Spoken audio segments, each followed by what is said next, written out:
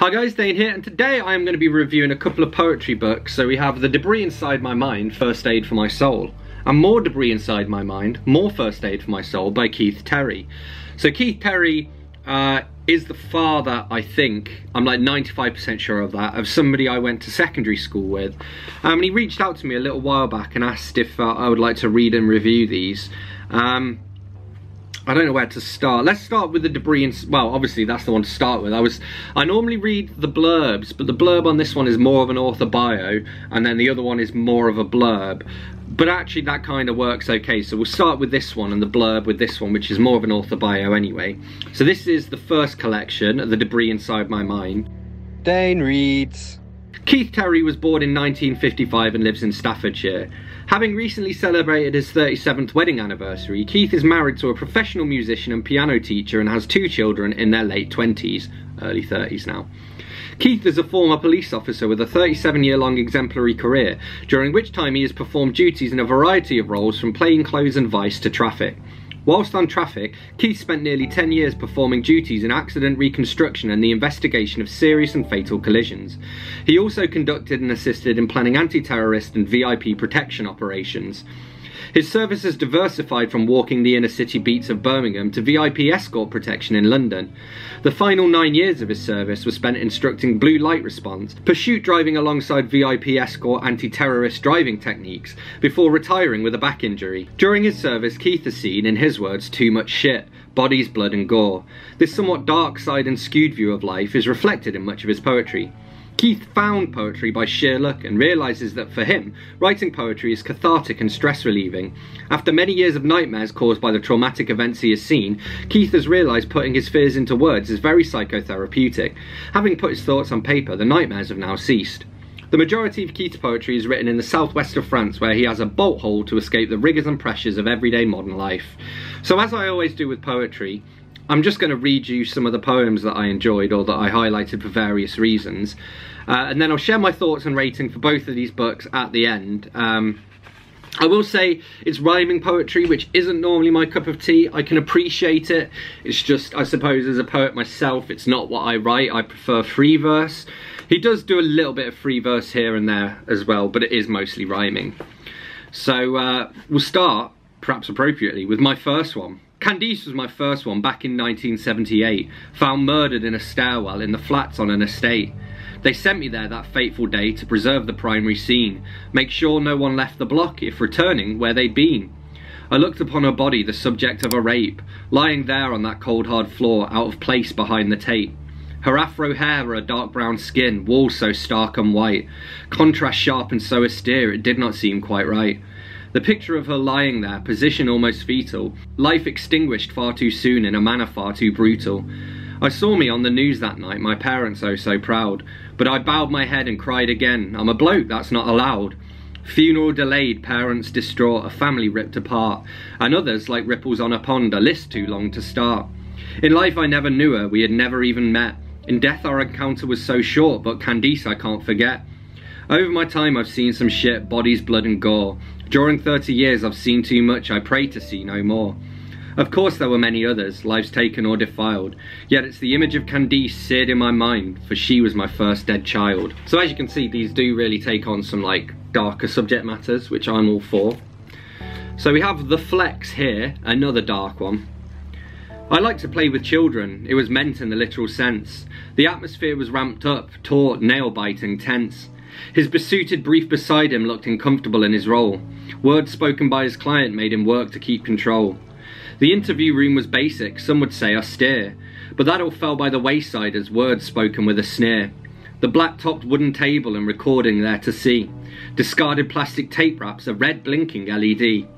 The children liked it really, they'd do anything for treats. I didn't do them any harm, the kids did it for the sweets. I took them to the storeroom at the rear of the main shop. They were quiet, none objected, no one asked for me to stop. Kept my hands upon the table, must keep myself in check. The cable to the telephone would fit nicely round his neck. I gripped my pen so tightly, my knuckles turning white. My tone still falsely calm, quiet and polite. That cable could be my failure, curled against the wall. It would take so little effort for me to lose it all. The thought is tempting, perhaps she would object, but he'd be the winner, my career would be wrecked. Our eyes across the table, he looked but could not see. He'd done naught that he thought wrong as he stared across at me. That frightening fact unsettling, but at least it meant he'd talk. Evidence emerging slowly, but free he would not walk. He did, of course, freed on bail before the case was heard. A community with different agendas now galvanised and stirred. His shop was daubed and damaged, vigilantes did their stuff. Mostly vandals who don't give a shit, others who'd heard enough. Two years in prison, but we know that that means one. A lifetime for the kids, childhood completely gone.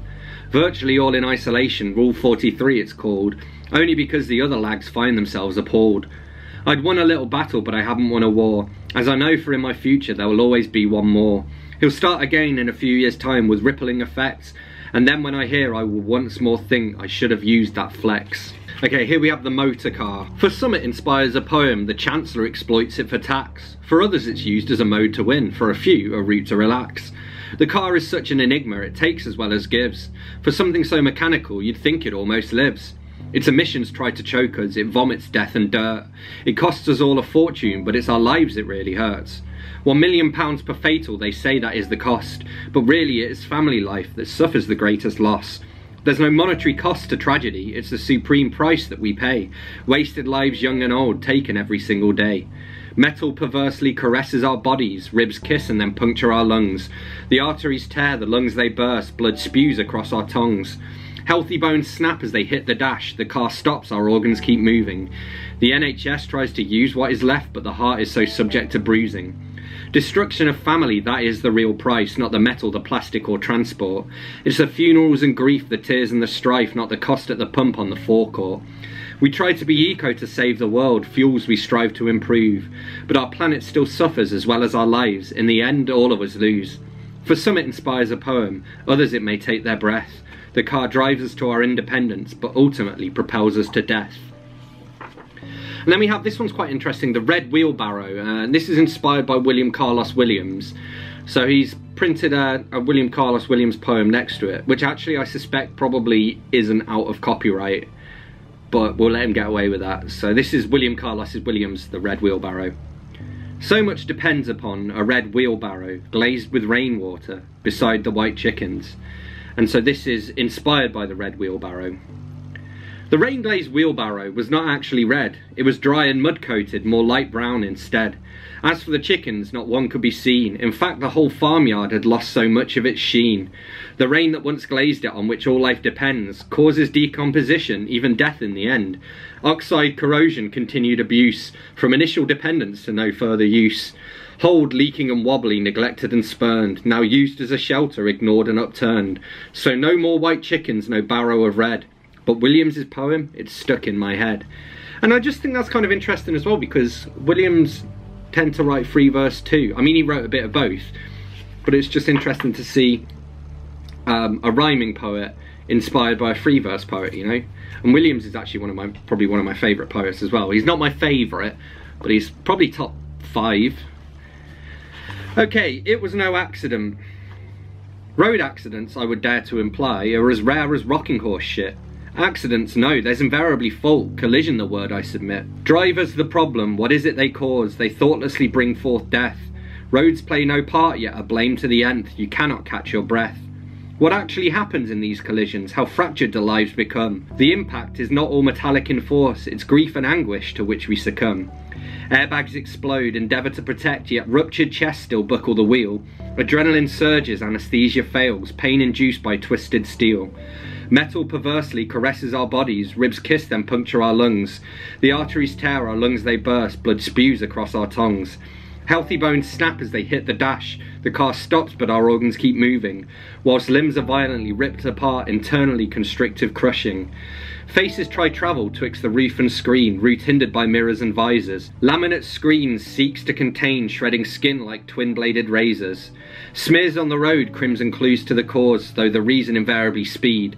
Perhaps lack of concentration or inconsiderate self-centered greed. Critical speed, pedestrian throws, skid test to help us explore. Coefficient of friction expressed in mu to find speeds and understand more. Mutilation merely precursor to agony returning again. Ripples on ponds radiate hurt, mental anguish following pain. One million pounds the measure of fatals, the attributed monetary cost. In reality, many family lives suffer incalculable undeserved loss. The truth, in fact, is plain for us to see, the price unacceptably high. Yet we still see those fools every day. All we can do is ask why. And I thought that's interesting because that's almost like a reprise of the earlier poem as well. It even reuses, I think in one or two cases it was like the exact same lines, and in other cases it was similar lines, uh, similar language. Um, but I think both poems kind of stand up by themselves. Lost and found. Crimson walls and furniture painted by wrists, deliberately, desperately twice slit. Eyes now closed to a world on someone who perceived they did not and could not fit. Blood-scented air permeates a neglected room, corroding Gillette discarded, death discernible all around. A dejected soul sitting slumped, lost in mind, waiting to be found but not by me. Okay, so this one's Life's a Long Song. Life's a long song, said Jethro Tull, and he was right all along. Our lives are a myriad of pathways capably conveyed in song. Our childhood days are nursery rhymes, uplifting, unworried, carefree. Our teenage years push boundaries at times when you know everything and everything's free. Those become the Slipknot years, parent advisory on CD cases. Screamed lyrics assault our wired up ears, Korn with a K and white faces. We don't want a job, no need to learn. Life's a long song with a drink. Our lives turn inward, no concerns, in fact, no need to think. Then responsibility with years arrives, moody blues come with age. Subtler rock reflects our lives, melody replaces rage. The volume often reduces, that's not to say the past was wrong. I can see clearly now produces, life's a long song. We move on toward the adult years, birth and marriage and loss.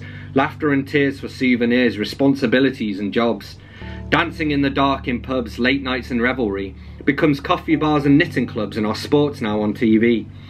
Hospital visits more frequent, stairway to heaven comes along. As we live beyond help and treatment, remember that life's a long song. So this one, I kind of wanted to highlight this one as well because it's got references to Slipknot and Korn, which are bands that my friend Rob, who sent me these books, used to be super into back in the day. Uh, it does say parent advisory on CD cases. It actually used to say parental advisory. Um, Korn with a K and White Faces. I assume he's talking about white faces of other bands because I don't think Korn ever wore corpse paint. Could be wrong. Uh, and also, the Life's a Long Song said Jethro Tull, and he was right all along. Wasn't Jeff Jethro Tull a band? According to Wikipedia, Jethro Tull are a British rock band formed in Blackpool, England in 1967. He wasn't right all along, they were right all along, just to be accurate. Uh, and finally, the poem that sums everything up Lucky Man. I really am so lucky to have health, my love, my wife, my children and my happiness. In other words, my life. That's a good one, I like that one. Okay, so now we're moving on to More Debris Inside My Mind, More First Aid for My Soul by Keith Terry. This one has more of a traditional blurb, so I'm going to go ahead and read that to you, and then we'll check out some of the poems. From suicides to sunsets, dementia to desire, paranoia to perfection, and more significantly, torment to tranquility, this collection of poetry, in a somewhat haphazard order, is very much a release of debris from inside my mind and at the same time acts as first aid for my soul. The poem, my first one, was first written in March 2010. It was an exercise to confront a traumatic incident that had been the catalyst of my nightmares for over 30 years, the rape and murder of a 14 year old child. Following the penning of this poem, my nightmares ceased, though it should be noted that the reader is spared many of the gruesome details. Cathartic in the extreme, this set me on the road to write numerous poems and to expel further debris from inside my mind. This deep and traumatic subject matter is hopefully balanced by poems of a soft and gentle nature, together with light-hearted stories in rhyme. Exhilaration and pleasure sit alongside horror and senselessness, but ultimately countenances that love and hope can overcome despair.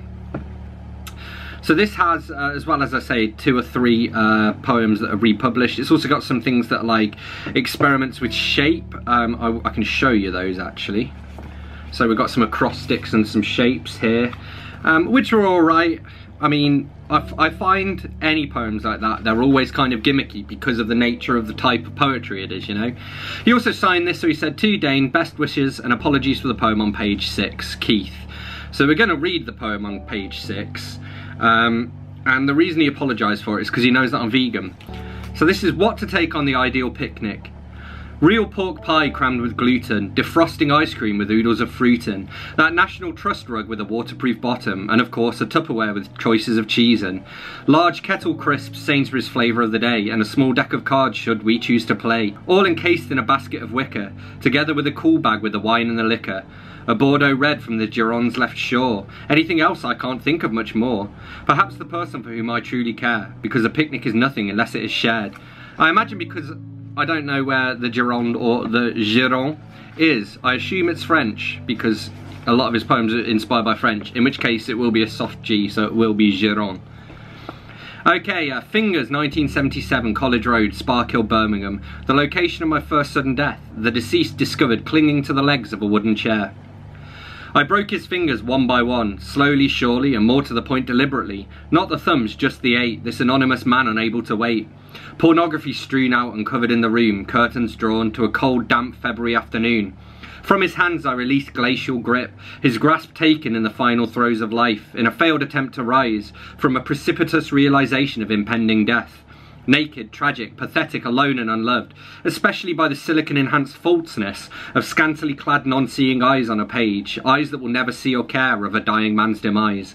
Rigor mortis, the only stiffness his body will now know. Dull, dingy, squalid, rented bedsit, now reeking of shit and death. Grip broken, chair legs released, body bag prepared. And I like this one because as well as being nice and suitably bleak, uh, it's also non-rhyming, and again, I just tend to enjoy non-rhyming poetry more. Macallion 1977, my first official post-mortem at Birmingham Mortuary. Also the subject of my first murder, Sparkbrook. One pub, one night, one drink, one fight. One argument, one knife, one wound, one life. One moment of madness, one life-changing lunge, one memory in life one cannot expunge. One hole between ribs, one punctured heart, one brushed steel table, one post-mortem starts. One more slicing knife, one bone-cutting saw, one set of scales, one organ more. One hose for the blood, one pungent acrid smell, one of so many, one reminder of hell. Nicely done. Here we have a full English breakfast. This is the last one I'm going to read from this. It's not that, um, I didn't enjoy this. I actually think this was probably my favourite of the two. I just didn't find as much that I wanted to tab out and share. I so I think the poetry was better. Um, but there just, as I say, there wasn't as much that I wanted to share. So, a full English breakfast. And uh, this is another one for the vegans. Everyone loves a full English, bacon, eggs, sausages, beans. We all know what a full English means. Veggies and vegans will no doubt cast scorn, yet I'm sure still enjoy one combined with soya or corn. What of the eggs? Fried, of course, coalescing slickly with Heinz tomato sauce. Linda McCartney's meat-free boast is a mere distraction from dunking your toast into oozing yellow from soft runny yolks with fried white bread dripping soaked golden hash browns and sliced black pud. Just a wonderful smell if only I could. Avoid all the calories of the stuff that is fried, but it's not the same grilled, I know because I've tried. But I've failed, I've been weak for it's so easy to distinguish between healthy and tasteless and that heavenly full English. Full English breakfasts are the bomb, even when you're vegan. So yeah, these two books, where's the other one gone? Over here. The Debris Inside My Mind and More Debris Inside My Mind. We have the first book, 3.5, second book, 3.5, but a slightly higher one. Uh, did enjoy them, as I say, um, I think with these, they're very much uh, an attempt at like um, self-therapy, and so you kind of have to respect them for that. I don't think Keith Terry is ever saying, or setting out to be the next poet laureate or anything like that.